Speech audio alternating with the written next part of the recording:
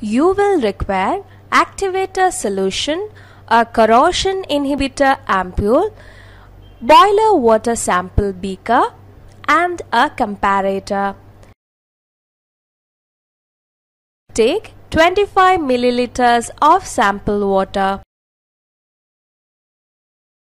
Add 2 drops of activator solution. Stir to mix the contents.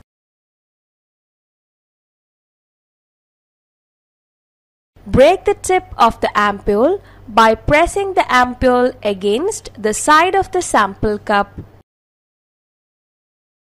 The sample will rise to fill the ampule and mixes with the reagent leaving a small bubble. Remove the ampule. Mix the contents of the ampule by inverting it several times so that the bubble inside the ampule moves end to end each time. Wait for 10 minutes for full color development.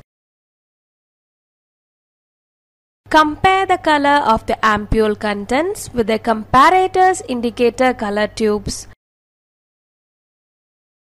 Place the filled ampule inside the comparator.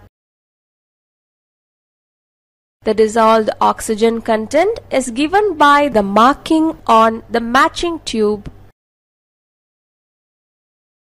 Adjust hydrazine dosage to the boiler water so that hydrazine reserve is maintained between 0.1 to 1 parts per million.